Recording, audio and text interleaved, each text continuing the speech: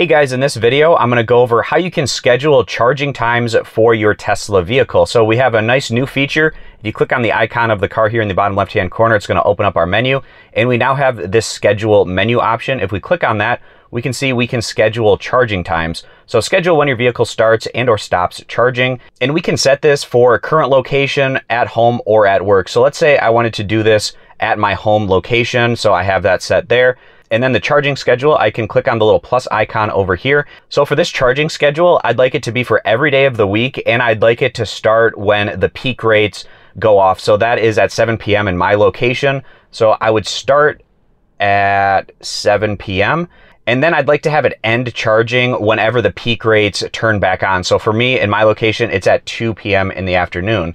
So again, going in and adjusting this to 2 p.m. And I'd like to set this for every day of the week, and I want this to repeat every week. So I would touch every single day of the week here, and I'm to have this repeat weekly. So now when I have my Tesla parked in my garage, plugged in and charging, it's only going to do so during off-peak hours because I have it end at 2 p.m. when peak rates turn on, and then I have it start back up at 7 p.m. when the peak rates are done.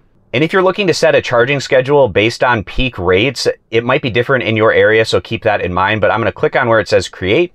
So now I see in my schedule when I'm parked at home, it's going to charge my vehicle only during the times of 7 p.m.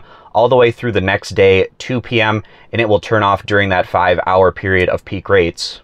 And if you'd ever like to turn this off, you can simply toggle it off right there. You can turn it back on, or if you'd like to erase this entirely, you can click on the little X there on the side. I'd also like to quickly mention that you can schedule this through the Tesla app.